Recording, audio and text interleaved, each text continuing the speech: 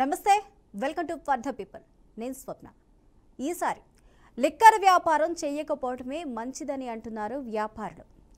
ఇన్నాళ్ళకు ప్రభుత్వం మరి డీలర్ విధానాన్ని తెచ్చారని సంతోషపడేలపై పోటు మీద పోట్లు పడుతున్నాయని ఆవేదన వ్యక్తం చేస్తున్నారు. ఆన్లైన్ టెండర్లు ఫైల్ చేసి లక్కీ డ్రా దాటుకొని సంబరపడుతున్న టైంలో ఎమ్మెల్యేలు ఎంటర్ అయి ముందు వ్యాపారమే లాక్కోవాలని చూశారు.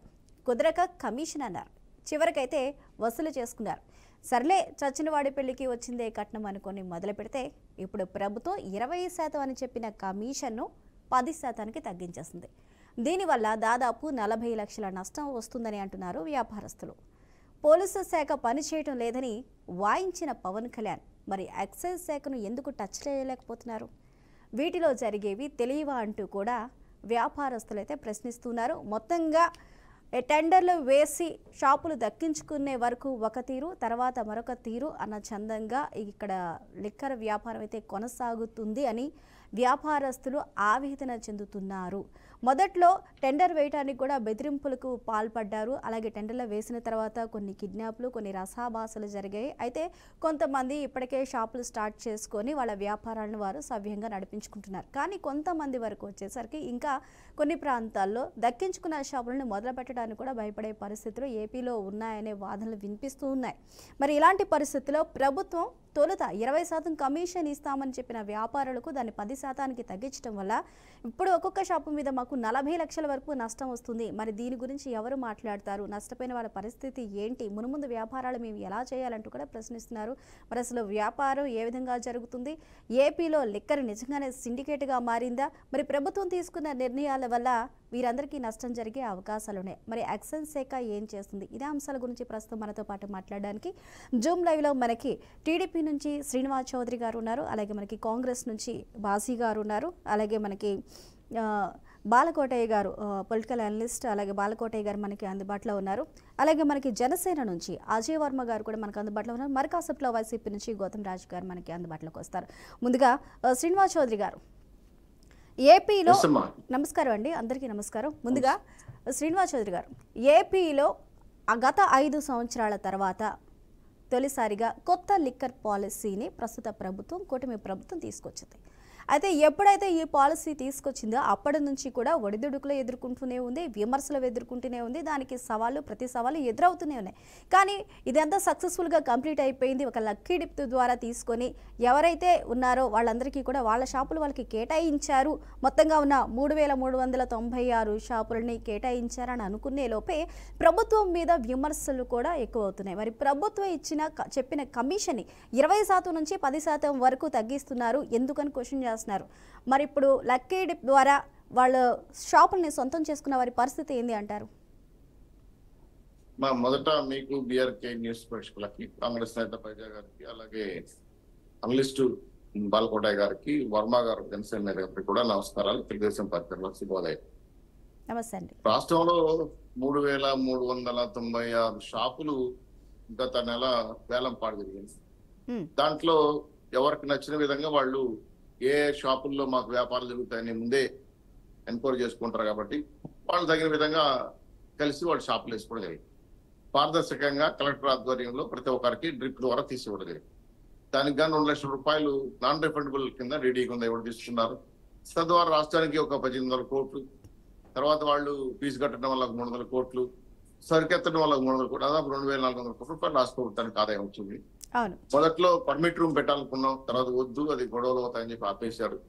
తర్వాత నాణ్యమైన మద్యం ఇవ్వాలని పైన ప్రభుత్వం మూడు కుటుంబాలు మూడు పార్టీలు హామీ ఇచ్చారు కాబట్టి మద్యం విషయంలో గత ప్రభుత్వం చేసిన దుర్మార్గమైన ప్రభుత్వ కాపులుగా పెట్టి నేరుగా డిపోల నుంచి మద్యం సప్లై చేసి వేల కోట్ల రూపాయలు కుంభకోణం చేసింది. సంవత్సరానికి పద్దెనిమిది వేల కోట్ల రూపాయలు నష్టం చేసింది రాష్ట్ర ప్రభుత్వానికి ఖజానాకి. ఇటువంటి పాలసీని మార్చాలని పూర్తిగా పాలసీని మార్చడంతో ప్రైవేట్ వ్యక్తులకి టెండర్ల ద్వారా ఇవ్వటం వల్ల వాళ్ళు ఆదాయ వనరులు సమకూర్చుకుంటారు. ఇప్పుడు ప్రభుత్వం ఒక నిర్ణయించి ఒక కమిషన్కి ఇస్తుంది. వాళ్ళు రకరకాలుగా అక్కడున్న వాళ్ళ వాతావరణ పరిస్థితి దృష్ట్యా ఈ అంటే తాగే వాళ్ళు తాగుబోతులు ఎవరైతే ఉన్నారో వాళ్ళకి అనేక అంశాలపైన లాభాధారణ ఉంటుంది. అయితే ఓన్లీ మద్యం ద్వారానే వస్తుంది తప్పు. మద్యం ద్వారా వచ్చే కమిషన్ కాకుండా దాని సబ్స్టిట్యూట్గా వాళ్ళు స్టఫ్ అంటారు గ్లాసులు అంటారు సోడాలు అంటారు కూల్ డ్రింక్స్ అంటారు అనేక అంశాలపైన లింక్ అప్ అయింది అవన్నీ కూడా షాప్ ఓనర్ మెయింటైన్ చేస్తుంటాడు. మా తిరుపతి లాంటి ప్రాంతంలో అయితే షాప్ ఎత్తుకున్న వాళ్ళేమో హ్యాపీగానే ఉన్నారు. ఎందుకంటే వాళ్ళకి రకరకాలుగా ఆదాయాలు ఇవే కాకుండా ఇతర ఆదాయాలు కలిసి వస్తాయి. సో ఆటోమేటిక్ ఏంటంటే మద్యం అనేది ఒక ప్రమాదమైన అంశం. దాన్ని వీలైనంత వరకు తగ్గించడానికి ప్రయత్నం చేయాలి. దాంట్లో లాభ నష్టాలు మాట్లాడుకోవడం కరెక్ట్ కాదు. అయినా సరే వాళ్ళు దిగారు. మంచి అద్య బాగా బ్రహ్మాండంగా ఆదాయం వస్తుందని చెప్పి అనుకుంటున్నారు. ఈ రోజు మాకు నష్టం వస్తుంది అని అంటే గత ప్రభుత్వంలో శ్రీనివాస్ చౌదరి గారు శ్రీనివాస్ చౌదరి గారు. ఇక్కడ వ్యాపారస్తులు చెప్తుంది మేము తీసుకున్నాం షాప్ సొంతం చేసుకున్న తర్వాత మాకు నష్టం వస్తుందని చెప్పట్లేదు. ఏదైతే ప్రభుత్వ విధానం ఉందో అంటే మొదటిలో ఇరవై పర్సెంట్ కమిషన్ ఇస్తానని చెప్పి ఇప్పుడు ఆ షాపులు సొంతం చేసుకున్న తర్వాత వేలం పాటలో దక్కించుకున్న తర్వాత ఇరవై శాతం ఇస్తానన్న కమిషన్ ఏదైతే ఉందో దాన్ని ప్రభుత్వం పది శాతానికి కుదించింది. దానివల్ల నలభై లక్షల వరకు మాకు నష్టం వస్తుంది ఏడాదికి అనేది వారి వాదన. అంతేగాని మేము తీసుకున్నాం కాబట్టి మాకు నష్టం వస్తుందని చెప్పట్లేదు. ప్రభుత్వం ఇచ్చిన నిర్ణయాన్ని మార్చుకోవడం వల్ల నష్టం వస్తుందని చెప్తున్నారు. గతంలో నిజంగానే మీరు ఇరవై శాతం ఇస్తామన్న కమిషన్ కాదని చెప్పట్లా. అయితే ఎప్పుడైతే లాభ నష్టాల్లో సరుకు యొక్క నాణ్యత పెంచిన తర్వాత క్వాలిటీ పెంచిన తర్వాత వాళ్ళకి ఆదాయ వనరులే కాదు రే అంటే సేల్స్ ఎక్కువ పెరిగాయి. గతంలో జే బ్రాండ్ మధ్యలో తాగేవాళ్ళు కాదు అధిక రేట్లు ఉండేటివి. ఇప్పుడు ninety nine rupees cheap liquor ఇస్తున్నారు. అప్పుడు ఒక బాటిల్ కొనాలంటే రెండు వందల ఎనభై మూడు వందల రూపాయలు ఖర్చు అయ్యేది అంటే క్వార్టర్ బాటిల్. ఇప్పుడు అలా కాదు కదా చిప్ వచ్చేసింది కదా ఎక్కువ సేల్స్ అవుతున్నాయి. తద్వారా అంటే పది రూపాయలు వచ్చే చోట వంద రూపాయలు వస్తాం. మీరు పది పర్సెంట్ ఇరవై పర్సెంట్ కమిషన్ చోట రెండు మూడు బాటిల్ అమ్ముకుంటే ఇరవై రూపాయలు వస్తుంది కానీ పది బాటిల్ అమ్మితే పది పదిలో వంద రూపాయలు వస్తుంది. సో సేల్స్ పెరగడం వల్ల ఆదాయం అనేది పెరిగింది. అయితే ప్రతి ఒక్కరు కోరుకుని తప్పు కాదు. ఎందుకంటే మేము షాపులు పెట్టాము మాకు ఎక్కువ ఆదాయం వస్తుంది. గత ప్రభుత్వం చూసాము. డైరెక్ట్గా జే బ్రాండ్ అవడం వల్ల వాళ్ళు ఇష్టం వచ్చినట్టు పది రూపాయలు ఐదు రూపాయలు పెంచుకొని అమ్ముకోవడం తద్వారా బయట బెల్ట్ షాపులు పెట్టుకోవడం బెల్ట్ షాప్ ద్వారా వేల కోట్ల రూపాయలు ఆదాయం రావడం వాళ్ళు చూసేశారు. ఒకసారి షాపులు మెయింటైన్ చేసిన ఓనర్ అంతా కూడా ఆదాయాన్ని బల్క్గా చూశారు. ఇప్పుడు అటువంటి ఆదాయం బెల్ట్ షాపులు ఇవ్వడం లేదు అదే పర్మిట్ రూమ్ ఇవ్వట్లేదు పరిమితంగా స్టాక్ పెట్టుకోవాలి నాణ్యమైన మద్యం ఇవ్వాలి దాంట్లో కమిషన్ తీసుకోవాలి ఈ కమిషన్ వరకే అంటే కన్ఫర్మ్ కావడం వల్ల కొంత ఇబ్బంది కలిగి ఉండొచ్చు. అయితే వాళ్ళకి. అసోసియేషన్ ఉంది లిక్కర్ షాపులు అసోసియేషన్ యజమానులు అసోసియేషన్ ఉంది కొందరిలో కుల రవీంద్ర గారు కూడా వేరే ఇబ్బంది అయితే కలవబోతారని నాకు తెలిసిన సమాచారం. మంత్రి గారితో కలిస్తే పట్టుబడిపులు ఉంటాయి మా వ్యాపారస్తులు ప్రభుత్వానికి ఆదాయం వస్తాను కాబట్టి నష్టపరచాలని ఆలోచన మాకు లేదు. అవసరమైతే మంత్రి గారితో మాట్లాడి వీలైనంత వరకు సడలింపులు ఉంటాయి. అయితే కానీ దుర్మార్గంగా పక్క రాష్ట్రాల నుంచి బెల్ట్ షాపులు చేయటం పర్మిట్ పెట్టడం బార్లుగా మార్చడం మాత్రం ప్రభుత్వం నిషేధిస్తా ఉంది. దాన్ని అలాంటి వ్యవహారం చేయకూడదని చెప్పి దానిపైన ఉక్కుపాదం మోపుతున్నాం. అది వాళ్ళకి శ్రీనివాస్ చౌదరి గారు ఒక్క నిమిషం అండి. శ్రీనివాస్ చౌదరి గారు ఒక్క నిమిషం హోల్డ్ అవునండి అజయ్ వర్మ గారు. అజయ్ వర్మ గారు. హోమ్ మినిస్టర్ అనిత పని సరిగ్గా చేయలేదు లేకపోతే పోలీస్ వ్యవస్థ ఈ విధంగా ఉంది అని వ్యవస్థలో ఉన్న లోపాలని గలమెత్తి చెప్పిన పవన్ కళ్యాణ్. ఇప్పుడు ఎక్సైజ్ శాఖలో జరుగుతున్న అవినీతి అక్రమాలను ఎందుకు పట్టించుకోవటం లేదు? ఆ శాఖను ఎందుకు టచ్ చేయలేకపోతున్నారు? దాని గురించి కూడా ఆయన మాట్లాడాలి అంటూ కూడా లిక్కర్ వ్యాపారస్తులు ఎవరైతే ఉన్నారో వారు డిమాండ్ చేస్తున్నారు. అంటే ఇప్పుడు పవన్ కళ్యాణ్ ఈ అంశంలో కూడా ఇన్వాల్వ్ అవ్వాల్సిన అవసరం ఉంది అంటారా? మోరవర్ ఇంకొక విషయం ఏంటంటే ఏదైతే లిక్కర్ షాప్లో ఒక బాటిల్ కొంటారో దానికి సంబంధించి టూ పర్సెంట్ అనేది ది అడిక్షన్ సెంటర్స్కి ఇవ్వాలి అంటూ కూడా ఒక కొత్త చట్టాన్ని ప్రతిపాదించడానికి పవన్ కళ్యాణ్ ఇప్పటికే అప్రూవల్ చేసుకోవడానికి ఒక నివేదికను పంపించినట్టయితే తెలుస్తుంది. అంటే ఒక ఒక్క మంచి చేస్తున్నారు దీనికి. కానీ ఇక్కడ ఎక్సైజ్ శాఖను పవన్ కళ్యాణ్ ఎందుకు టచ్ చేయలేకపోతున్నారు? ఒక పక్క అవినీతి గురించి మాట్లాడుతున్నప్పుడు ఈ శాఖలో కూడా జరుగుతుంది. దీన్ని ఎందుకు మాట్లాడలేకపోతున్నారు? ప్రశ్నిస్తున్నారు. మరి మీరేమంటారు? స్వప్న గారు మీకు అలాగే అక్కడున్న పెద్దలందరికీ శుభోదయం.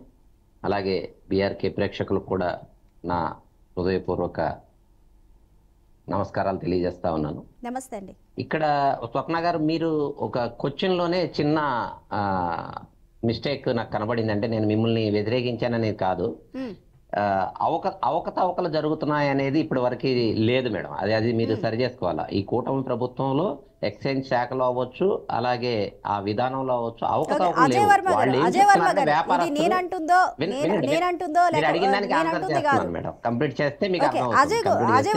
క్లారిటీ ఇవ్వనివ్వండి నేనంటుంది కాదు వ్యాపారస్తులు పవన్ కళ్యాణ్ దీని గురించి స్పందించాలి. అని వారు చెప్తున్నది. ఇవి. చెప్తాను అంటే. దాంట్లో అవకతవకలు జరుగుతున్నాయి అంటే ప్రభుత్వం మీద నిందేసినట్టు నేను నా దాన్ని ఖండిస్తున్నాను ముందు. అవకతవకలు జరగట్లేదు. అవకతవకలు జరగట్లేదు. అది ఉమ్మడి ఈ ఉమ్మడి ప్రభుత్వంలో కూటమి ప్రభుత్వంలో కొత్త విధానం తీసుకొచ్చి మద్యం పాలసీని ఇవాళ వీళ్ళని చీకట్లో మభ్యపెట్టి చేసింది కాదు. అంత ఓపెన్గా ఆన్లైన్లో పెట్టి అలాగే ఎక్సైజ్ శాఖ దగ్గరికి కూడా వెళ్ళి కొంతమంది దాని మీద సూచనలు సలహాలు అన్ని తీసుకొని వాళ్ళకు తెలిసి వ్యాపారం ఇలా చేస్తే ఇంత వస్తుంది ట్వంటీ పర్సెంట్ ఇస్తున్నమాట వాస్తవమే. వాళ్ళు చెప్తున్నది ఏంటంటే ట్యాక్స్ ఎక్సెస్ పడుతుంది. ట్యాక్స్ ఎక్సెస్ ఆ ట్వంటీ పర్సెంట్ తర్వాత ట్యాక్స్ వేస్తున్నారు కాబట్టి మేము నష్టపోతున్నాం అనేది వాళ్ళ వాదన. అది అది కొద్దిగా మనం అర్థం చేసుకోవాలి. అయితే వ్యాపారంలో లాభ నష్టాలు అనేది ఇప్పుడు ఉన్న ఏదైతే షాపులు ఇచ్చారో ఆ మూడు వేల మూడు వందల షాపులు అందరూ నష్టాల్లో నడవట్లేదు. కొంతమంది నష్టాల్లో నడుస్తున్నారని వాళ్ళ భావన చెప్తా ఉన్నారు. అయితే పవన్ కళ్యాణ్ గారు అనిత గారి గురించి మాట్లాడింది కానీ లేదా పోలీస్ వ్యవస్థ మీద మాట్లాడింది కానీ అది ఏం చెప్పారు అంటే వ్యవస్థలో ఈ ఐదున్నర కోట్ల మంది జనాభాలో మేము కూటమి ప్రభుత్వం నుంచి గుండెల మీద చేసుకొని హాయిగా నిద్రపోయే రోజు ఉంటుంది అని చెప్పి మేము హామీ ఇచ్చి ప్రభుత్వంలోకి వచ్చాము. దానికి మీరు మా మంచితనాన్ని చేతకానితనంగా తీసుకోవద్దు. మీరు స్ట్రిక్ట్గా ఉండాలి అని చెప్పి ఆయన వాళ్ళకి హెచ్చరించడం జరిగింది ఏది. పోలీసు వ్యవస్థని అంతే అంతే తప్ప దీనికి దానికి ఏది బోడి బోడిగుండికి మోకాలకి ముడేసేసి ఇది లిక్కర్ వ్యాపారస్తులది కూడా ఆయన పాలసీ తీసుకురావాలి దానికి కొల్లు రవీంద్ర గారు మినిస్టర్ గారు ఉన్నారు. వీళ్ళకి ఏదైతే అన్యాయం జరిగిందని వీళ్ళు మీరు చెప్తా అనుకున్నట్టు ఉన్నారో, ఆ అజయ్ వర్మ గారు దానికి కూడా అనిత మినిస్టర్ గానే అనిత కూడా హోమ్. మినిస్టర్ గానే ఉన్నారు మరి అక్కడ టచ్ చేసినప్పుడు ఇక్కడ ఎందుకు అదే చెప్తున్నా? మేడం అదే. ఐదున్నర కోట్ల మందికి సంబంధించిన వ్యవసాయ అది చెప్పాను ఐదున్నర మీకు దానికి వివరణ ఇచ్చాను ఐదున్నర కోట్ల మందికి గుండెలు నిబ్బ ఎందుకంటే మూడు సంవత్సరాల పాప మీద కూడా రేప్ జరిగితే దాన్ని మీనమేనక్షాలు లెక్క పెడతా ఉన్నారు దాని మీద స్ట్రిక్ట్గా వెళ్ళండి అని చెప్పారు. అయితే ఇది వ్యాపారానికి సంబంధించింది అది ప్రజా పరిపాలనకు సంబంధించింది. ఇది వ్యాపారస్తులకి లాస్ వస్తుంది వాళ్ళకి చెప్తారు. ఇవాళ వ్యాపారస్తులు ఏమైనా పవన్ కళ్యాణ్ గారి దృష్టికి ఏమైనా తీసుకెళ్ళగలిగారండి ఇది. లేదు ఇంకా ఆయన దగ్గరికే రాలేదు. మా దగ్గర every day Janasena party office దగ్గర మంగళగిరి దగ్గర జనవాణి కార్యక్రమం జరుగుతూ ఉంటుంది. మీకు ఉదాహరణ చెప్తాను. మాకు కూడా డ్యూటీ వేస్తారు అక్కడ. ప్రతిరోజు ఒక ఎమ్మెల్యే కానీ లేకపోతే ఎవరైతే మంత్రి కానీ ఉంటారో వాళ్ళకి ఒక షెడ్యూల్ ప్రకారం వేస్తారు. అక్కడికి వచ్చి వాళ్ళ ప్రజల బాధలు ఏదైనా ఇబ్బందులు ఉన్నా ఏదైనా తక్షణం అక్కడ ఏదైనా పోలీస్ వ్యవస్థలో అవ్వచ్చు రెవెన్యూ వ్యవస్థలో అవ్వచ్చు ఏదైనా ఇబ్బందులు కలిగితే అక్కడికి వచ్చి చెప్తే ఇమీడియట్గా దానికి పరిష్కారం చేయగలుగుతా ఉన్నాం. ఏదైనా లాంగ్ రన్ పెద్దదైతే మన పవన్ కళ్యాణ్ గారు దాంట్లో కలగజేసుకొని వాళ్ళ కన్సర్న్ సెక్రటరీ అవ్వచ్చు ప్రిన్సిపల్ సెక్రటరీ అవ్వచ్చు ఆ మినిస్టర్ అవ్వచ్చు వాళ్ళతో మాట్లాడి ఆ సమస్యకి పరిష్కారం చూస్తా ఉన్నారు. ఎందుకనంటే మీకు ఉదాహరణకు చెప్పగలను. అంతకుముందు లేళ్ళ అప్పిరెడ్డి గారని అక్కడ మాజీ ఎమ్మెల్సీ ఉన్నారండి గుంటూరు జిల్లాలో. ఆయన ఒక విదేశాల్లో ఉద్యోగాలు ఇప్పిస్తామని చెప్పి ఒక ఆఫీస్ నడిపితే అక్కడ కొన్ని కోట్ల రూపాయలు ఆ స్టూడెంట్స్ దగ్గర వసూలు చేసి నిరుద్యోగుల దగ్గర వసూలు చేసి దోపిడీ చేసిన వ్యవస్థ. వాళ్ళందరూ వాళ్ళు తిరిగి వాళ్ళ మీద ఎదురు కేసులు పెట్టారని చెప్పి అరవై మంది దగ్గర దగ్గర సుమారు వాళ్ళకు అందుబాటులో ఉన్న వాళ్ళు ఒక అరవై డెబ్బై మంది వచ్చి కంప్లైంట్ పెడితే ఇమీడియట్లుగా అనిత గారితో మాట్లాడి వాళ్ళని అక్కడికి పంపించి దాని మీద ప్రత్యేక దర్యాప్తు చేసి దాని మీద చర్యలు తీసుకోవాలని ఇమీడియట్లుగా విత్ ఇన్ మినిట్స్లోనే దాని మీద చర్యలు తీసుకోవడానికి అవకాశం కల్పించిన పరిస్థితి. ఎందుకనంటే ఇప్పుడు పవన్ కళ్యాణ్ ఇక్కడ ఒక వ్యవస్థ ఉంది. ముఖ్యమంత్రి గారు ఉన్నారు. ముఖ్యమంత్రి గారి దృష్టికి ఏదైతే ఈ పాలసీకి సంబంధించి దీంట్లో ప్రభుత్వం ఎటువంటి వాళ్ళని ఇబ్బంది పెట్టింది లేదు వాళ్ళు చెప్తున్న బాధ ఏంటంటే ఆ ట్యాక్స్ గనక ఈ ట్వంటీ పర్సెంట్ లోపు కాదు ట్వంటీ పర్సెంట్ ముందే వేసి తర్వాత ట్వంటీ పర్సెంట్ ఇస్తే మాకు బాగుంటుందనే వాళ్ళ ఆవేదన చెప్పారు ఇవాళ వరకు మన చౌదరి గారు చెప్పినట్టు ఇవాళ వరకు ఎవరు లాస్ వచ్చిందని మాత్రం ఏ షాప్ వాళ్ళు వచ్చి చెప్పింది లేదు మాకు. రావాల్సిన ఆదాయం. తగ్గుతుంది మాకు ఆదాయం తగ్గుతుంది ఓకే అజయ్ వర్మ గారు. అజయ్ వర్మ గారు ఒక్క నిమిషం తప్ప. ఒక నిమిషం. అజయ్ వర్మ గారు ఒక నిమిషం హోలో ఒక నిమిషం హోలో ఉండండి. బాలకోటయ్య గారు ఇక్కడ ట్యాక్సులు తగ్గించండి అంటూ వ్యాపారస్తులు అడుగుతున్నారు అని జనసేన అజయ్ వర్మ గారు చెప్తున్నారు. కాకపోతే కమిషన్స్ ఇస్తామన్నంత కాకుండా టెన్ పర్సెంట్కి కుదించారు పది శాతం నష్టపోతున్నాం అంటూ వాళ్ళు చెప్తున్నారు. ఇక్కడ ట్యాక్స్లా కమిషన్ అన్న విషయం పక్కన పెడితే ఓవరాల్గా ఏపీలో లిక్కర్ లిక్కర్ మధ్య షాపుల వ్యాపారాలు ఎవరైతే చేస్తున్నారో దానికి సంబంధించి ఎంఆర్పికి అనుగుణంగా కాకుండా దానికి మించి అమ్ముకోవడానికి యాక్సెస్ ఇవ్వడం జరిగింది అని చెప్తున్నారు.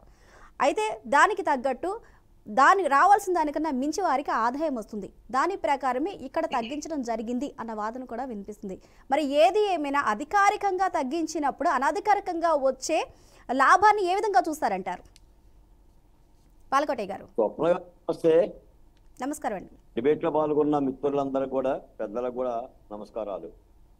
స్వప్న వారు గత ప్రభుత్వం మద్యం అమ్ముకుంది. ఈ ప్రభుత్వం ఆ మద్యం పాలసీని మార్చి ప్రైవేటు పరం చేసింది. అవును. గత ప్రభుత్వం దశల వారీగా మద్య నిషేధం చేస్తానన్న ప్రభుత్వమే తానే అమ్మింది. ఏమమ్మిందో ఎలా అమ్మిందో మనందరికి తెలుసు. ఆ గత ఐదేళ్ళు కూడా మనం చర్చ చేశాం. ఇప్పుడు నేను దాని జోలికి కూడా పోదలు పోదలుచుకోవాలా అలా ప్రభుత్వం అమ్మటం తప్పు ప్రైవేట్ పరం చేద్దామని చెప్పేసి ఇప్పుడున్న కూటమి ప్రభుత్వం ప్రైవేట్ పరం చేసింది. ఇందులో కొంత మీరు అన్నట్టుగా కమిషన్ తగ్గించింది అని అంటున్నారు. కమిషన్ తగ్గిస్తే మద్యం వ్యాపారులు ప్రభుత్వం దగ్గరకు పోతారు. మద్యం వ్యాపారుల మీద ప్రేమతో డిబేట్ పెట్టి మాట్లాడాల్సిన స్థితి మనకైతే లేదు. అది రాష్ట్రానికి వచ్చిన సమస్య ఏం కాదు. ఇష్టం ఉంటే వ్యాపారం చేస్తారు కష్టమైతే రద్దు చేసుకొని వెళ్ళకపోతారు ఏంటి నష్టం? స్వప్న గారు? రాష్ట్రాన్ని పీడి పీడించే సమస్య ఈ రోజున మధ్య అది వ్యాపారం. రూపాయి పెట్టుబడి ఎందుకు పెడుతున్నారు? ఇంకో రూపాయి రావటానికి. ఆ రూపాయి రావటానికి ప్రభుత్వ నిబంధన ఇబ్బందికరంగా ఉంటే సంబంధిత మంత్రి దగ్గర పోతారు. ముఖ్యమంత్రి దగ్గర పోతారు. అయ్యా మీరు నిబంధన మార్చారు ఇది మాకు ఇబ్బంది ఉంటుందని చెప్తారు. దేనికంటున్నా ఇంత అవసరం? అంటే మద్యాన్ని సరఫరా చేద్దామని కూర్చున్నాం. ఏంటి మీడియా వాళ్ళమని మేము కూడా? అవసరమా? వాళ్ళ కష్టాలు? ఈ రోజున రాష్ట్రంలో సైకోలాగా బరి తెగించి నీకు మాట చెప్తాను స్వప్న గారు. మనుషుల్ని కత్తులతో చంపుతారు గొడ్డలతో చంపుతారు. కానీ ఈ రోజున సోషల్ మీడియాలో మృగాలు సైకోలు అయినాలాగా మహిళల మాన ప్రాణాలను ఆరగిస్తున్నారు. ఇడింబిల్లాగా. మనం చర్చించాలి దాని మీద. చచ్చిపోతున్నారంటే మహిళలు. రాజకీయాల్లో రావాలంటే భయపడిపోతున్నారు. భయపడిపోతున్నారు. మాజీ ముఖ్యమంత్రి గారు కూడా పోలీసులు బెదిరిస్తున్నారంటే సప్త సముద్రాల అవతల ఉండా కూడా లాక్కొస్తామని ఏం చెయ్యాలి? ఇది కదా రాష్ట్రానికి సమస్య.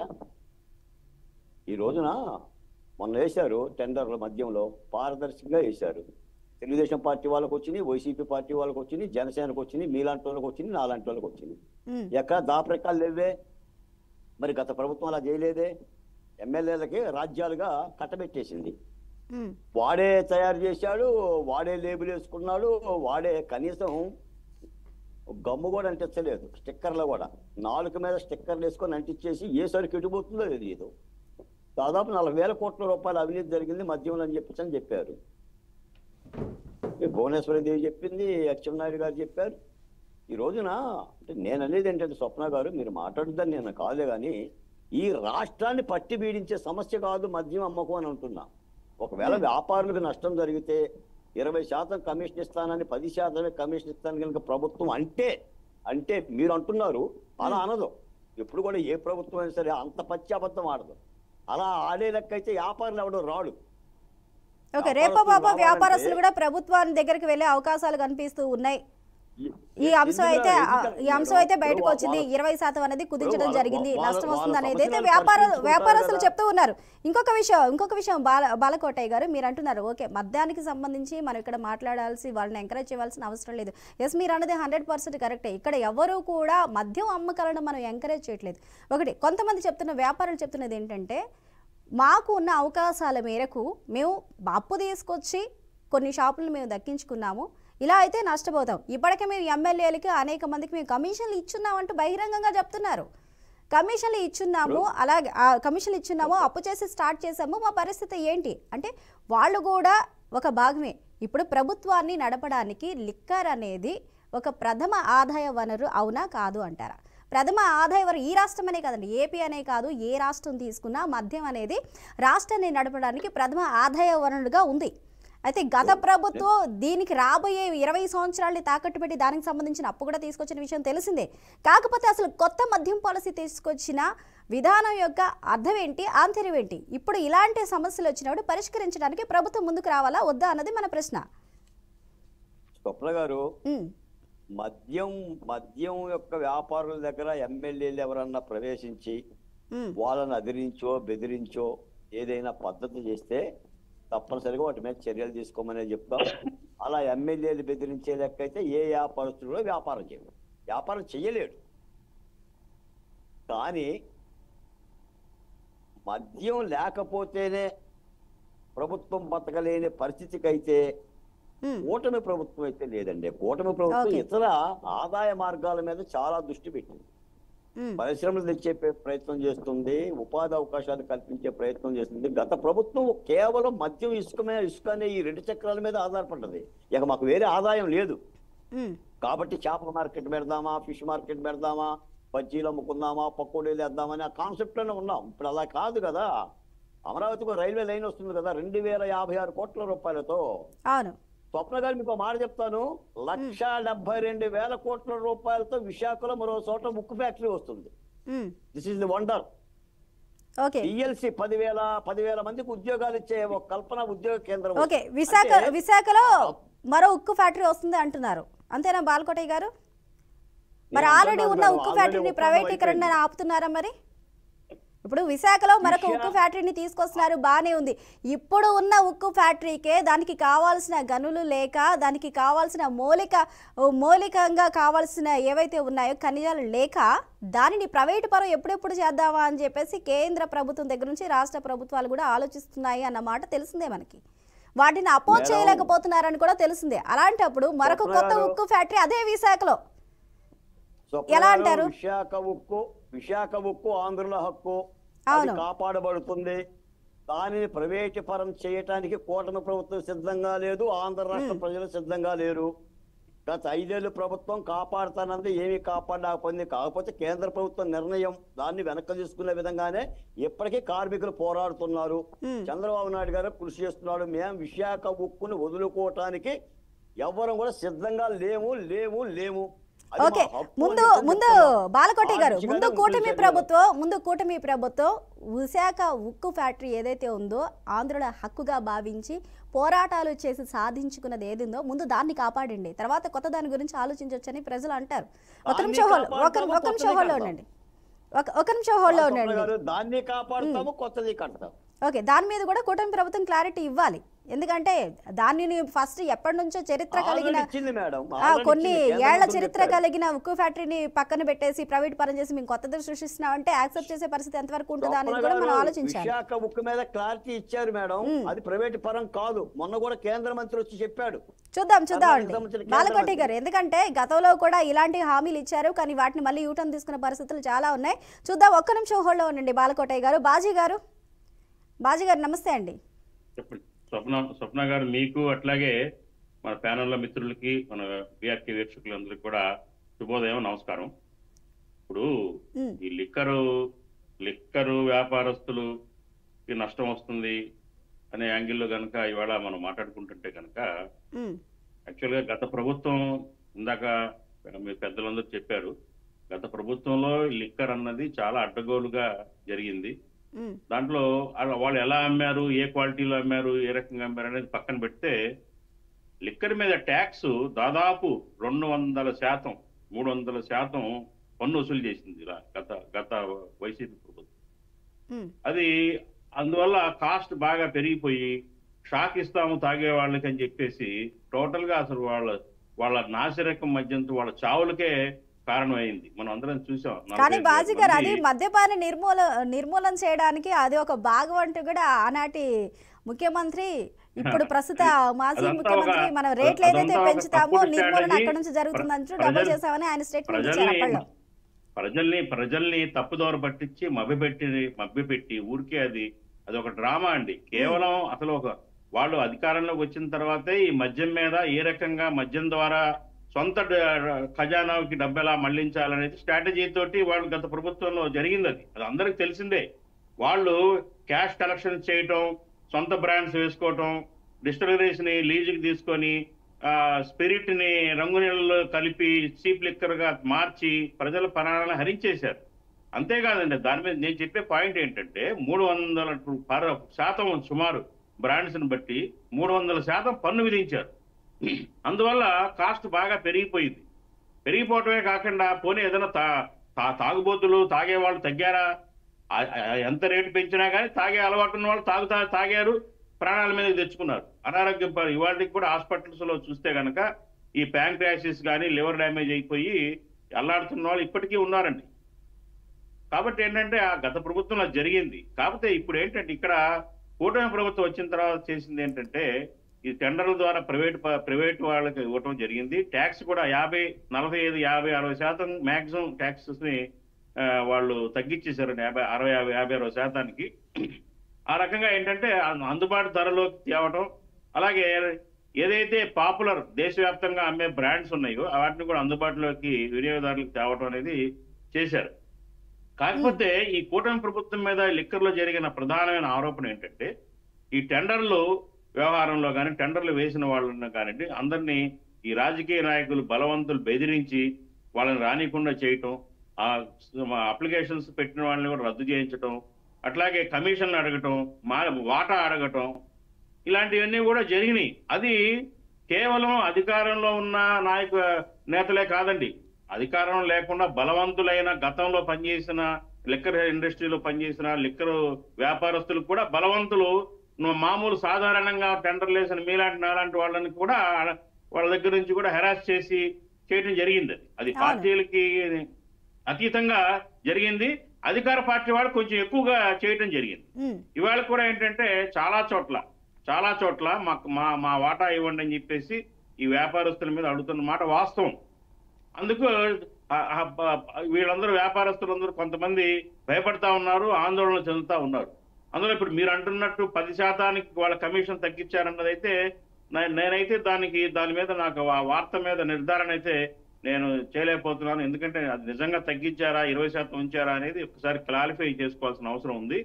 ఒకవేళ తగ్గించినప్పటికీ కూడా ఆ పది శాతం మార్జిన్స్ వస్తాయి. ప్రభుత్వం ప్రభుత్వం ఏం చేయాలంటే ముఖ్యంగా ఏదైతే ఈ వీళ్ళ మీద ఉక్కుపాదం మోపి వ్యాపారస్తుల్ని వ్యాపారం సజావుగా చేసుకోనీయకుండా వీళ్ళ దగ్గర కమిషన్ల కోసం నెల నెలా కమిషన్లు లేదా వాటాల కోసం వీళ్ళని ఇబ్బంది పెట్టే వాళ్ళు ఎవరైతే ఉన్నారో వాళ్ళ మీద చర్యలు తీసుకోవాలి. వాళ్ళని వీళ్ళని ఇబ్బంది పెట్టకుండా చూడాల్సిన బాధ్యత ఉంది. ఈ అంశం మీద గతంలో కూడా మనం డిబేట్ చేశాం. ఇప్పుడు ముఖ్య ముఖ్యమంత్రి గారు స్వయంగా రెండు మూడు పర్యాయాలు ఈ ఏదైతే ఈ వీళ్ళని వీళ్ళ మీద హెరాస్ చేస్తున్నారో వాళ్ళని మందలించడం కూడా జరిగింది. ఎమ్మెల్యేలు కాదు ఎంపీలు లేకపోతే వ్యాపారస్తులు ఎవరైతే ఉన్నారో వాళ్ళని మందలించడం కూడా జరిగింది ముఖ్యమంత్రి గారు స్వయంగా కలగ చేసుకొని. అయినా కానీ ఎక్కడా లేదు. మనం చూసాం ఇప్పుడు అక్కడ మన మన ఒక పెద్ద ఒక పెద్ద నాయకుడు రాయలసీమలో బహిరంగంగానే వీడియోలో వచ్చినాయి మనకి సోషల్ మీడియాలో. ఈ బూతులు తిడుతూ మాకు మా ఏరియాలో ఎలా వ్యాపారం చేస్తారో నాకు ట్వంటీ పర్సెంట్ ఇవ్వాలి లేకపోతే ఇది చేస్తానన్న వీడియోలు కూడా మనం చూసాం. వాళ్ళని కూడా ప్రభుత్వం ఏం చేయలేకపోయింది. నేనేం చెప్తున్నానంటే ప్రభుత్వంలో పార్టీకి పెద్దలు కావచ్చు లేకపోతే ఎమ్మెల్యేస్ స్థాయి కలిగిన వాళ్ళు ఎవరైనా కానీ కాక ఇట్లాంటి బెదిరింపులు ఇట్లా వ్యాపారస్తులు బెదిరించి కమిషన్లు దండుకోవడం కోసం వాటాల కోసం చేయటం అనేది ఒక ప్రభుత్వానికి చెడ్డ పేరు తెస్తుంది. కాబట్టి అటువంటి వాళ్ళని ప్రభుత్వం ఇప్పటికైనా కానీ అణిచివేయాలి. సజావుగా వీళ్ళు నిరాటంకంగా వ్యాపారం చేసుకునే అవకాశాన్ని కల్పించాలి. ఇకపోతే రాంకోటే గారు ఇందాక మాట్లాడుతూ విశాఖలో ఇంకొక స్టీల్ ప్లాంట్ తెస్తున్నాము. అని గర్వంగా చెప్పారు. ఇవాళ దాని మీద చాలా అనుమానాలు ఉన్నాయి.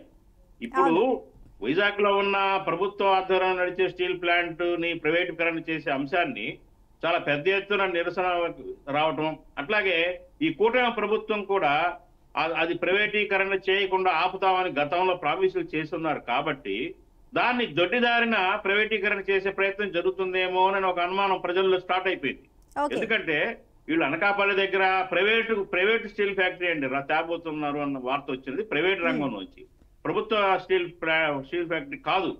ప్రైవేట్ సెక్టార్లో ఒక స్టీల్ ఫ్యాక్టరీ రాబోతుంది. శాంక్షన్ అయింది అనేది వార్త వచ్చింది.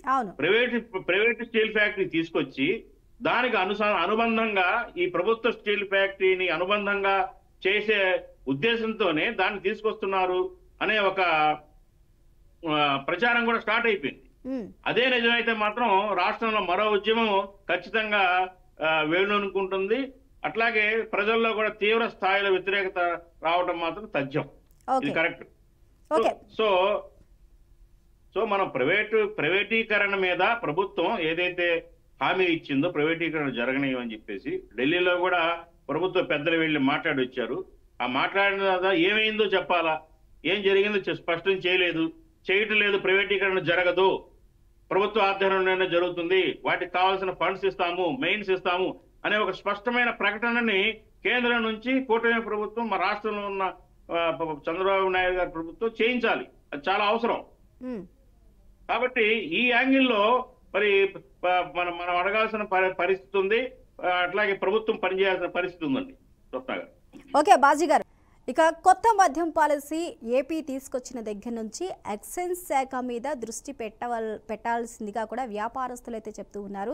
తీసుకున్నంత వరకు ఒక లెక్క తీసుకున్న తర్వాత మరొక లెక్క అన్న చందంగా ప్రభుత్వం వ్యవహరిస్తుంది. ఈ ప్రభుత్వ తీరు వల్ల నష్టపోయే అవకాశాలు ఉన్నాయని చెప్తున్నారు.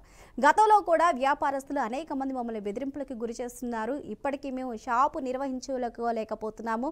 మొదట షాపు మొత్తం మాకే కావాలని అడిగి బెదిరించిన వాళ్ళు ఇప్పుడు కమిషన్ వరకు వచ్చి వచ్చారు వాళ్ళకి కమిషన్లు ఇచ్చి ఏదో ఒక విధంగా ముందుకు వెళ్దామంటే ప్రభుత్వం చేసుకుంటున్న నిర్ణయాల వల్ల మేము నష్టపోతున్నాము. అప్పు తీసుకొచ్చి పెట్టిన మా పరిస్థితి ఏంటి అని ప్రశ్నిస్తున్నారు. అయితే ఇందులో ముఖ్యంగా నాణ్యమైన మద్యం అందించడం అది కూడా ఎఫర్టబుల్ ప్రైస్లో అందించడమే ధ్యేయంగా ఈ కొత్త మద్యం పాలసీని ఏపీ తీసుకొచ్చింది.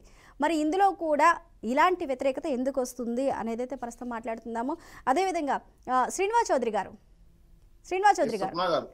ప్రైవేట్ పరంగా ఇవన్నీ షాపులు ఇచ్చిన తర్వాత ఎవరైతే అక్కడ ఉద్యోగాలు చేస్తున్నారో పదిహేను వేల మంది వరకు వాళ్ళ ఉపాధిని కోల్పోయారు. గతంలో షాపుల్లో పనిచేసిన వారి వారి పరిస్థితి ఏంటి అని ప్రశ్నిస్తున్నారు. దానితో పాటు మా పరిస్థితి ఏంటి అంటూ చెప్తున్నారు నిజంగా వీళ్ళు చెప్తున్న దాని ప్రకారం నిజంగానే నష్టాల్లో రన్ అవుతుందా? వారు ఆ నష్టాన్ని చవి చూడవలసి వస్తుందా? దీనికి పవన్ కళ్యాణ్ మాట్లాడాలని వారు ఎందుకు అనుకుంటున్నారు? అంటే సమస్య ఏదైనా సరే పవన్ కళ్యాణ్ సాల్వ్ చేస్తారన్న నమ్మకం వారికి ఉందా? అంటే మిగిలిన ఎక్సైజ్ శాఖకు సంబంధించిన వారిని మాట్లాడడం అనకుండా పవన్ కళ్యాణ్ మాట్లాడాలి అని ఎందుకు వాళ్ళు చెప్తున్నారు? మొదట మీరు పెట్టిన చర్చలో భాగంగా మద్యం షాపులకి నేను ఇప్పుడే కనుక్కున్నాను.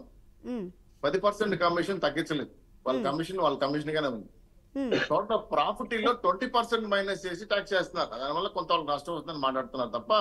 కమిషన్ ఎక్కడ తగ్గించలేదు. రెండో విషయం. ఇప్పుడు మరి ట్వంటీ పర్సెంట్ మీరు అన్నట్టు ట్వంటీ పర్సెంట్ ట్యాక్స్ని ఎందుకు తగ్గిస్తున్నట్లు మరి? ఎస్ ఇక్కడ ఏంటంటే అది ఆడిటింగ్ సిస్టమ్ ప్రకారం ఏంటంటే ఆదాయాన్ని మినహాయించి ట్యాక్స్ చేస్తారు కానీ ఆదాయాన్ని అంటే కమిషన్ మినహాయించి చేస్తారు కానీ ఆ కమిషన్ కలిపేస్తే నష్టపోతారు వాడు సో Hmm. దానివల్ల ఏంటంటే కమిషన్ సపరేట్ చేయడం వల్ల ఆ కమిషన్లో వచ్చే డబ్బులు మాకు మళ్ళీ దాని మీద నా ఆదాయం కింద నా వ్యక్తిగత షాప్ ఆదాయం కింద పడుతుంది మళ్ళీ నాకు ట్యాక్స్ పోతుందని చెప్పి వాళ్ళ వాదన. దాన్ని ప్రభుత్వంతో మాట్లాడి చిన్న విషయం కాబట్టి పరిశీలించుకోదు పెద్ద ఇష్యూ కూడా కాదు. అయితే గత ప్రభుత్వంలో చేసే విధా- విధానాలు ఇక్కడ అమలు చేయదలుచుకోవాలి. వాళ్ళ బాధ ఏంటంటే బెల్ట్ షాపులు పర్మిట్ రూములు ఒక రకంగా రాత్రి టైంలో టైమింగ్ పెంచడం అలాగే కొన్ని రకాల స్పెసిఫిక్ జరుగుతున్నారు. ఇక్కడ మెయిన్ ప్రాబ్లం వస్తుంది. మీరు అడిగిన ప్రశ్న ఇంకోటి ముఖ్యమైన ప్రశ్న. పవన్ కళ్యాణ్ గారు జోక్యం చేసుకోవాలి. అమ్మా నేను ఒకటి చెప్తున్నాను. అన్ని శాఖలకు అందరూ ముఖ్యమంత్రులు మంత్రులు ఉన్నారు. ఒకరి శాఖలో ఒకరు ఇన్వాల్వ్ కారు. బాబు గారు చాలా స్పష్టంగా చెప్పారు. మద్యం విషయంలో ఎవడు తప్పు చేసినా సరే బెల్ట్ షాపులు పెట్టినా అధిక రేటు పెంచినా ఎంఆర్పి దాటి చేసినా వార్నింగ్ ఇస్తాం వినకపోతే లైసెన్స్ కూడా రద్దు చేస్తాం. గత ప్రభుత్వం ఏం చేసింది? పదమూడు వందల తొంభై ఆరు షాపుల్లో ఇంకొన్ని బెల్ట్ షాపుల్లో మీకు తెలుసా? తిరుపతి తండ్రి తిరుపతి జిల్లా చిత్తూరు జిల్లా కడప కర్నూలు ఈ ప్రాంతంలో అయితే ప్రతి పదేళ్ళకి ఒక గ్రిల్ ఉంటది. ప్రతి పదేళ్ళకి. మీకు అవసరం అనుకుంటే కడప పంపించండి. ఇప్పుడు గ్రిల్ కూడా తీలేవాళ్ళు. అంటే ప్రతి పదేళ్ళకి ఒక బెల్ట్ షాప్ ఉంది. గత ప్రభుత్వం Right. నడిపింది. సో ఇంత దుర్మార్గంగా నడిపిన ప్రభుత్వం వాళ్ళ ఉద్యోగాల కోసం మేమైతే భద్రత ఇవ్వలేము ఎందుకంటే చాలా క్లియర్గా ఉంది. ఎందుకంటే ప్రభుత్వం నడిపింది. ఇప్పుడు ప్రైవేటైజేషన్ చేసేసాం. ప్రైవేట్ చేసిన తర్వాత వాళ్ళు అధిక వాళ్ళు ఎవరైతే షాపులు పడుకున్నారో వాళ్ళు పెట్టుకుంటారు. వాళ్ళకి కావాల్సిన అవసరమైన ఎంప్లాయీస్ని. అంతేగాని దాన్ని మనం ప్రభుత్వ యొక్క అది ఎంప్లాయీగా వాళ్ళు ఎవరు పరి పరిగణించాల. వాళ్ళు కాంట్రాక్ట్ మీదనో లేదు అద్దె వ్యాపారం కోసం ఏజెంట్ కమిషన్ మీదనో ఆధారపడినారు దానికి మనం వేరే ఉపాధి చూసుకోవాలి. ఈ రోజు రాష్ట్రంలో వేరన్నట్టు ఫ్యాక్టరీల ఇండస్ట్రీస్ ఐటీయా అనేక అంశాలు మేము తీసుకోసం సంవత్సరానికి ఐదు సంవత్సరాలు ఇరవై లక్షల ఉద్యోగాలు వాళ్ళు మేము పెట్టుకున్నాం అది ఇస్తాం. అయితే పద్నాలుగు బ్యావరేజ్ ఉన్న రాష్ట్రంలో పూర్తిగా పద్నాలుగు బ్యావరేజ్ తీసుకొని తల్లి చెల్లి బొట్లు అయిపోతున్నాయి మొత్తం నాశనం అయిపోతున్నాం. కుటుంబాలు విచలడైపోతాయని చెప్పి దశల వారీగా మధ్య నిషేధం చేస్తానని చెప్పి పట్టుకుంటే కాలిపోయి షాక్ కొట్టే విధంగా ధరలు పెంచుతానని చెప్పి వ్యాపార పరంగా వేల కోట్ల రూపాయలు వ్యక్తిగతంగా సంపాదించిన ప్రభుత్వం ప్రభుత్వానికి ఆదాయం వల్ల ప్రభుత్వానికి పద్దెనిమిది కోట్ల సంవత్సరానికి నష్టం వచ్చింది. అది నేరుగా తాడేపల్లి కేసు పోయింది కంటైనర్ ల్యాడింగ్ మీద మీరు చూసారు మీ మీ టీవీలో కూడా వచ్చింది. ఇక్కడ మేము అది కాదు రాష్ట్ర ప్రజలకి నాణ్యమైన మద్యం వాళ్ళకు ఇస్తాం. రెండు ధరలు అధిక ధరలు పెంచకూడదని డిసైడ్ అయిపోయినాం రెండు పన్ను పరంగా వచ్చే విషయాలన్నీ కూడా టాక్సేషన్ పరిధిలో ఉన్న దాన్ని వాళ్ళు డిస్కస్ చేసి పరిష్కరించుకుంటారు. మూడు ఎప్పుడైతే సిబ్బంది నుంచి నిలిపేశారో గత ప్రభుత్వం గవర్నమెంట్ నుంచి దానికి మేం భరోసా కాదు. అందులో వాలంటీర్లు కూడా ఉన్నారు. ఎందుకంటే వాలంటీర్లు జీవో ఇచ్చింది కాదు వాళ్ళ ప్రభుత్వ ఉద్యోగాలు కాదు. ఊరికే అవసరం కోసం తీసుకున్నారు వాళ్ళ పార్టీ కార్యక్రమంలో వాడుకున్నారు. ఇప్పుడు అదేవిధంగా మద్యం షాపులో పనిచేసిన ఉద్యోగస్తులు కూడా వాళ్ళ వ్యాపార లావాదేవీల్లో భాగంగా పెట్టుకున్న సిబ్బంది తప్ప అది ప్రభుత్వ పరంగా ఎటువంటి జీవోలు లేవు. వాళ్ళకి అధికారికంగా ఎటువంటి అపాయింట్మెంట్స్ ఇవ్వలేదు. ఇది మూడో విషయం. సో వారు వారి ఉపాధికి సంబంధించి ప్రభుత్వం వైపు నుంచి ఎలాంటి ఆలోచన చేసే అవకాశాలు. లేవు అంటారు. అవకాశాలు బట్టి వాళ్ళకున్న అవకాశాల మేరకు చదువుకున్న విద్య విద్యార్థులను బట్టి ఈ కొత్త కొత్త మా తిరుపతి ప్రాంతంలో కొత్త ఎలక్ట్రానిక్ ఎలక్ట్రిక్ షాప్స్ ఉన్నాయి. ఎలక్ట్రానిక్ ఫ్యాక్టరీస్ వస్తున్నాయి. అదేవిధంగా రాష్ట్రంలో బయటి కంపెనీలు వస్తున్నాయి. అప్లై చేయమంటే మేము మేము చెప్తున్నాం కదా సెటిలింగ్ ద్వారా కానీ ఎంప్లాయ్మెంట్ ద్వారా కానీ అప్లై చేస్తున్నారు ఉద్యోగాలు ఇస్తున్నారు కూడా. ఎందుకంటే అర్హతను బట్టి. వైన్ షాప్లో ఉండే వాళ్ళు ఎందుకంటే వాళ్ళు వ్యాపార లావాదేవీలకు అలవాటు పడి ఉంటారు. చాలా మంది ఇంకో విషయం మీకు రాష్ట్రం చెప్పా స్వప్న గారు. ఈ. వైన్ షాప్లో పనిచేసే గత ప్రభుత్వం పనిచేసే వైన్ షాప్లో అలవాటు. ఎందుకంటే ఆ షాపుల్లోనే వాళ్ళు ఎమ్మడగలుగుతారు చాలా మంది ఆ షాపులు జాయిన్ అయిపోయారు. నాకు తెలిసి ఫిఫ్టీ పర్సెంట్ గత ప్రభుత్వం నడిపిన సిబ్బంది చాలా మంది ఇప్పుడు కొత్త కొత్త షాపులో ఉన్నారు. నేను చూసాను ప్రత్యక్షంగా ఎందుకంటే వాళ్ళకి అలవాటు కాబట్టి. ఆ తెలిసిన వాళ్ళే పెట్టుకుంటారు కూడా మధ్య- మధ్య షాపులు కాబట్టి అకామిడేట్ అయిపోయారు. కొంతమంది విద్యా అర్హత ఉన్న వాళ్ళు వేరే జాబ్స్ చూసుకునే అవకాశం. ఇంకా మెయిన్ మెయిన్ విషయం ఏంటంటే రాష్ట్రంలో గతంలో తయారు చేసిన సైకోల్ని ఆ మద్యం తాగి స్పీడ్ తాగి దెబ్బతిన్న వాళ్ళని వాళ్ళు డిఎడ్ఎస్ పంపించడం కోసం టూ పర్సెంట్ అయితే మనం ఖచ్చితంగా డిఎడ్ఎస్ కేటాయించాలని డిసైడ్ అయిపోయారు. అక్కడ కూడా వాళ్ళకి అనుమానాలు ఉన్నాయి. టూ పర్సెంట్ మళ్ళీ మాకు మైనస్ అవుతుంది కదా దీనివల్ల మాకు. ఆదాయం కోల్పోతాం కదా అనే విషయం ఉందమ్మా. ఇక్కడ ఒక స్పష్టంగా చెప్పదలుచుకున్నాం. ఏ మద్యం షాప్ నాకు కూడా తెలిసిన ఫ్రెండ్స్ ఉన్నారు మద్యం షాపులు పెట్టుకున్నారు. వాళ్ళిద్దరూ కూడా ఏంటంటే మద్యం నుంచి వచ్చే కమిషన్ కన్నా పై ఆదాయాలు ఎక్కువ ఉంటాయి వాళ్ళకి. మీకు బాగా గమనించండి. ఒక పార్టీస్ లేదంటే వాళ్ళ ఒకరు కూర్చోబెట్టుకున్న స్టఫ్లో లేదా ఇతర గ్లాసులు కూల్ డ్రింక్స్ నీళ్ళు అనేక అంశాలపైన వాళ్ళకి లింక్ అయి ఉంటాయి ఆదాయాలు. దయచేసి ఏ వైన్ షాప్ కూడా నష్టం నడవటం లేదు.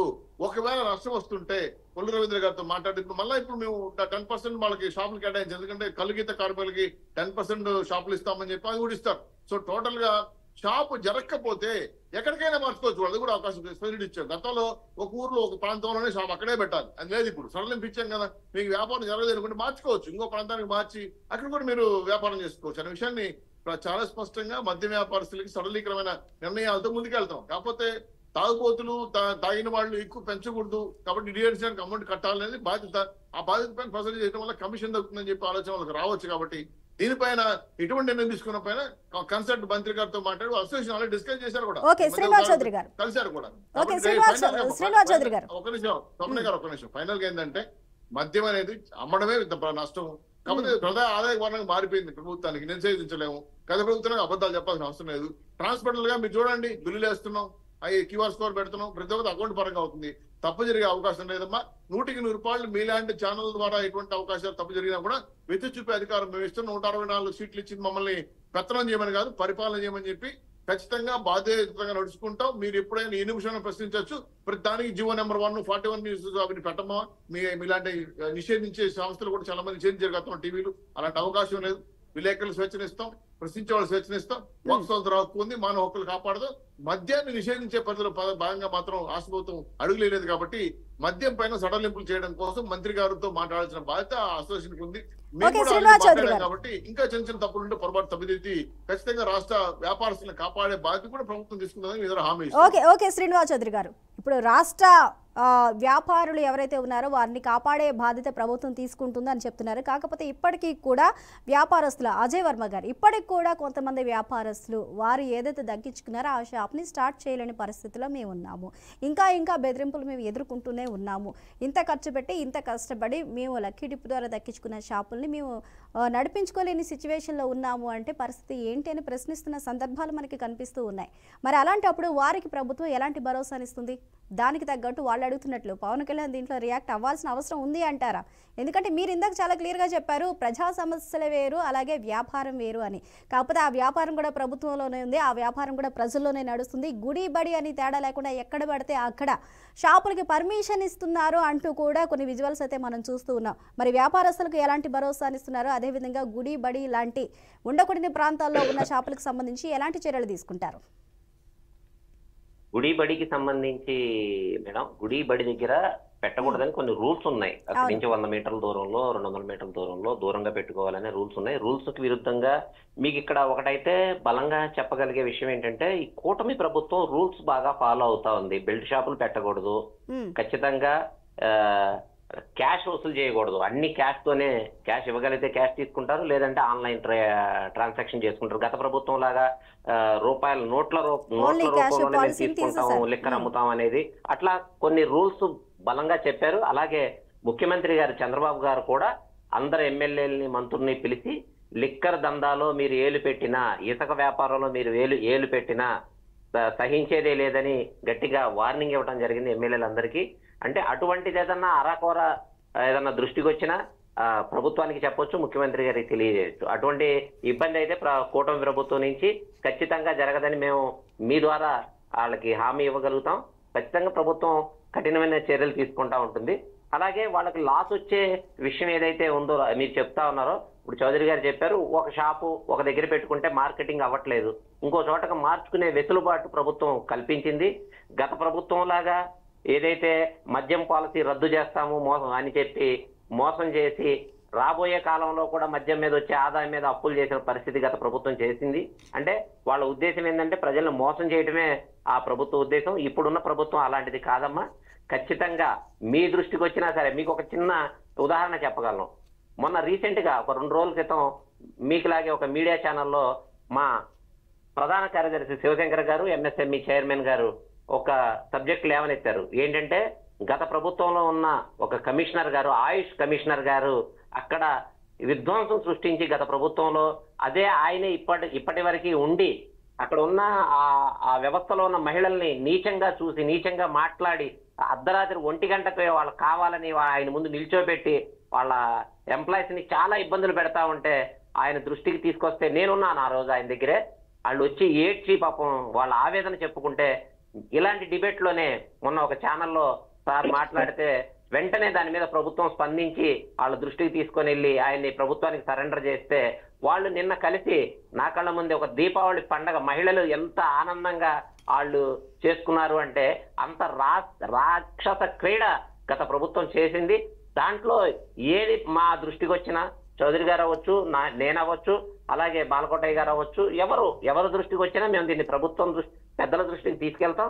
ఖచ్చితంగా దాన్ని చర్యలు తీసుకోవడానికి దాని మీద అంటే ప్రభుత్వంకి కొన్ని తెలియకపోక కొన్ని కొన్ని చిన్న ఇబ్బందులు ఏదైనా జరిగితే ప్రభుత్వం దృష్టికి తీసుకెళ్తే తక్షణం దాని మీద స్పందించి నిర్ణయం తీసుకొని దాన్ని మ- మంచి సరి చేసుకోవడానికి అవకాశం ఈ ప్రభుత్వం కల్పించింది. అటువంటి ఏమన్నా మీ దృష్టికి వచ్చినా సరే మాకు చెప్తే మేము తీసుకెళ్ళగలుగుతాం ఖచ్చితంగా ఇది వ్యాపారస్తులకి సంబంధించిన విషయమే. వ్యాపారస్తులు లాభ నష్టాలు అనేది వాళ్ళన్నీ తెలుసుకొనే వ్యాపారం చేశారు. ఇక్కడ జరుగుతుంది ఏంటంటే వాళ్ళు ఊహించుకున్నంత రావట్లేదు అనేదే చిన్న కరెక్షను. కాకపోతే వా- గత గతంలో ఏంటంటే ఎక్సెస్ ఎంఆర్పి కంటే ఎక్కువ అమ్ముకోవడానికి కుదిరేది. ఇప్పుడు అది కుదరట్లేదు. అలాగే ఏదైతే బెల్ట్ షాపులు ఉండే బెల్ట్ షాపులు పెట్టుకోవడానికి కుదరట్లేదు.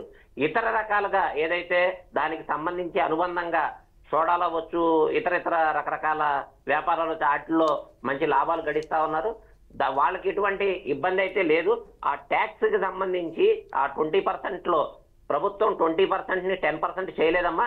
ట్వంటీ పర్సెంట్ ఇస్తుంది. కా- కాకపోతే దాంట్లో వాళ్ళు చెప్పే ప్రాబ్లం ఏంటంటే అదనంగా ట్యాక్స్ వసూలు చేస్తున్నారు అనేది. అది ఆల్రెడీ మా మంత్రి గారు పరిశీలిస్తా ఉన్నారు కొల్లు రవీంద్ర గారు. దాని మీద ఎలా చేస్తే ఏం చేస్తే బాగుంటుంది ఎలా చేయాలనే దాని మీద దాని పరిశీలన జరుగుతూ ఉంది. దీన్ని పెద్ద భూతద్దంలో చూసి చేయాల్సిన అవసరం లేదు. ఇంకా ప్రజా సమస్యలు చాలా ఉన్నాయి. చేయాల్సినవి వాళ్ళ ముందు ప్రభుత్వం ఇరవై లక్షల మందికి ఎంప్లాయ్మెంట్ ఇస్తామని ఏదైతే హామీ ఇచ్చారో దానికి అడుగులు వేస్తా ఉంది. ఇందాక Okay. బాల బాలకోటయ్య గారు చెప్పినట్టు ప్రైవేట్ ఇండస్ట్రీస్ కోకొల్లలుగా నా దృష్టిలో ఉండి ఒక పెద్ద ఇండస్ట్రీ మన ఆంధ్రప్రదేశ్ రాబోతుంది. దాంట్లో లక్ష మందికి ఎంప్లాయ్మెంట్ వచ్చే అవకాశం ఉంది. అంటే అట్లాగే మొన్న మన లోకేష్ గారు కూడా విదేశాలు తిరిగి సాఫ్ట్వేర్ కంపెనీలతో అలాగే అక్కడ ఉన్న ఎవరైతే ఉన్నారో వాళ్ళందరితో మాట్లాడి ఇండస్ట్రీస్ తీసుకురావడానికి ప్రతి ఒక్కళ్ళు పవన్ కళ్యాణ్ గారు అవ్వచ్చు అలాగే లోకేష్ గారు అవ్వచ్చు అలాగే ముఖ్యమంత్రి గారు అవ్వచ్చు ప్రభుత్వ పరిపాలన మీద ఇవాళ మొదలుపెట్టి ఆ ఏదైతే ప్రమాణ స్వీకారం చేశారో నెక్స్ట్ డే నుంచే పరిపాలన పరుగులెత్తిస్తా ఉన్నారు ఖచ్చితంగా మనం ఒక స్వర్ణాంధ్రప్రదేశ్ని రాజధాని లేకుండా చేసిన ఆంధ్రప్రదేశ్ని ఇవాళ స్వర్ణాంధ్రప్రదేశ్గా తీర్చిదిద్దడానికి కంకణం కట్టుకొని ఉప ముఖ్యమంత్రి గారు గారు. ముఖ్యమంత్రి. జోడ్ జోడ్ చెప్పండి మేడం ఒక ఒక్క నిమిషం ఉండండి అజయ్ వర్మ గారు బాలకోటయ్య గారు. బాలకోటయ్య గారు ఇప్పుడు ఈ కొత్త మద్యం పాలసీ తీసుకొచ్చిన తర్వాత పవన్ కళ్యాణ్ ఒక ప్రపోజల్ పెట్టడం జరిగింది. ఏదైతే ఒక టూ పర్సెంట్ అనేది డీహెడిక్షన్ సెంటర్స్ కానీ లేకపోతే రీహాబిలిటేషన్ సెంటర్స్కి కానీ వచ్చిన ఆదాయంలో నుంచి టూ పర్సెంటేజ్ వాటికి ఇవ్వాల్సిందిగా ఆయన ఒక ప్రపోజల్ పెట్టారు గవర్నమెంట్కి. అయితే అది ఇప్పుడు ఈ వ్యాపారస్తులు ఇప్పుడు కూడా అదొక టెన్షన్. అంటే అది ఎక్కడి నుంచి తీసుకుంటారు? ప్రభుత్వం దగ్గర నుంచి వచ్చే ఆదాయంలో నుంచి తీసుకుంటారా? లేకపోతే వ్యాపారస్తుల దగ్గర నుంచి ఆ టూ పర్సెంట్ కూడా వసూలు చేస్తారంట సందిగ్ధత కూడా వారిలో ఉంది. మరి అది ఎక్కడి నుంచి తీసుకుంటారంటారు కోటయ్య గారు? స్వప్న గారు రెండు అంశాలు స్వప్న గారు. ఒకటి ఏంటంటే గత ప్రభుత్వం చేసిన తప్పులు గత ప్రభుత్వంలో జరిగిన తప్పిదాలు జరగకుండా పరిపాలన అందజేస్తామంటేనే కూటమి ప్రభుత్వానికి ఈ అధికారాన్ని ఇచ్చారు. కాబట్టి ఏ తప్పునైనా కూడా కూటమి ప్రభుత్వం సరిదిద్దుకుంటూనే పరిపాలన ముందుకు పోతుంది. రెండోది ఏంటంటే ఏ ప్రభుత్వం కూడా వందకు వంద శాతం ప్యూర్ వైట్ పేపర్ లాగా పరిపాలన చేయలేదు. ఓకే. తప్పు తక్కువ ఒప్పులు ఎక్కువ ఉంటే సుపరిపాలన అని అర్థం. తప్పులు ఎక్కువ ఒప్పులు తక్కువ ఉంటే సుపరిపాలన కాదు అని అర్థం తప్పులు అనేవి కామన్ అంటారు అయితే. ప్రభుత్వం ఎక్కువ తక్కువ. చేసినా తప్పులు అయితే ఉంటాయంటారు ఎమ్మెల్యే ఎమ్మెల్యే గెలిచిందే వంద శాతం ఓట్లతో కాదు ప్రతిపక్ష పార్టీ కూడా నలభై శాతం ముప్పై శాతం వస్తాయి ఇది. ప్రజాస్వామ్యం ఇది ప్రజాస్వామ్యం గత ప్రభుత్వంలో తప్పులు ఎక్కువ జరిగిపోయినాయి. ఉబ్బడి దెబ్బడిగా మోయలేనంత భారం కాకపోతే ఇప్పుడు తప్పులు చేస్తున్నారు కానీ. తక్కువ చేస్తున్నారు. అంతేనా? చెప్పండి. ఇది ఆంధ్రప్రదేశే కాదు. భారతదేశంలో ఇరవై ఎనిమిది రాష్ట్రాలకు చెప్తున్నా ఏ ప్రభుత్వమైనా తప్పులు తగ్గించుకోవాలి ఒప్పులు పెంచుకోవాలి. ఈ రోజున నేను ఇంకో మాట కూడా మిత్రుడు చెప్పాడు మేము విశాఖ ముక్కు కోసం ఢిల్లీ వెళ్ళినోని నేను కూడా. సిపిఐ రామకృష్ణ జేడి లక్ష్మీనారాయణ గారు సిపిఎం శ్రీనివాసరావు గారితో కలిసి విశాఖ ముక్కు కార్మికుల దగ్గరికి అమరావతి ఉద్యమ రైతులుగా బస్సులు వేసుకునేది మద్దతు ప్రకటించాం. ఈ రోజు కాదు మేడం రేపు చెప్తున్నా మళ్ళీ చెప్తున్నా కూటమి ప్రభుత్వం విశాఖ ఉక్కుని కనుక ప్రైవేటు పరం చేసే ఆలోచన కనుక కాపాడలేకపోతే అది ఆ ప్రభుత్వం నిందే అవుతుంది. అది మా హక్కు అని చెప్తున్నాం. ఓకే. ఇంకో రెండు విశాఖ ఉక్కు కర్మాగారాలు కట్టినా కూడా విశాఖపట్నంలో ఆంధ్రలో ఉక్కు అంటే భూములు ఇచ్చిన కారణంగా ఏర్పాటు చేసుకున్న యాభై ఏళ్ళ ఉక్కుని వదులుకోవడానికి మాత్రం ఆంధ్రప్రదేశ్ సిద్ధంగా లేదు. ఇప్పటికీ. కేంద్రంతో అదే సంప్రదింపులు జరుగుతున్నాయి. అలాగనే ఉంటుంది. అంటే నేను ఏమంటానంటే మేడం ఇప్పుడు మీరు అన్నారు పవన్ కళ్యాణ్ గారు ఎందుకు Hmm. మాట్లాడని పవన్ కళ్యాణ్ గారు మద్యం గురించి మాట్లాడటానికి ఎంత అవసరమే ఉంది ఇప్పుడు అది ఏంటంటే రాష్ట్రాన్ని పట్టి పీడించే సమస్య కాదు. అది మద్యం వ్యాపారుల మధ్య వచ్చి కొన్ని మీరు అన్నట్టుగా మీ మాటకే నేను వస్తున్నా. కమిషన్ విషయంలో కానీ లేదంటే వేరే పన్నుల విషయంలో కానీ ఏమన్నా ఉంటే ఇబ్బందులు ఉంటే అది కూర్చొని పరిష్కరించుకునే సమస్య తప్ప దాన్ని పవన్ కళ్యాణ్ గారు పబ్లిక్గా మాట్లాడే అంశం కాదు ఒకవేళ కాకపోవచ్చు కాకపోతే బాలకోటయ్య గారు ఏంటంటే. ఇక్కడ పిఠాపురంలో ఎవరికైనా సమస్యలు వచ్చినా కానీ లేకపోతే రాష్ట్రంలో ఎవరికైనా సమస్యలు వచ్చినా కానీ ఆడబిడ్డల మీద అత్యాచారాలు జరిగినా అగాత్యాలు జరిగినా కానీ ఇమీడియట్ రియాక్షన్ అనేది పవన్ కళ్యాణ్ దగ్గర నుంచి రాష్ట్ర ప్రజలు చూస్తున్నారు. మరి మాకు కూడా న్యాయం జరుగుతుంది అన్న ఒక ఆశతో వాళ్ళు అది ఎక్స్పెక్ట్ చేసి ఉండొచ్చు కదా.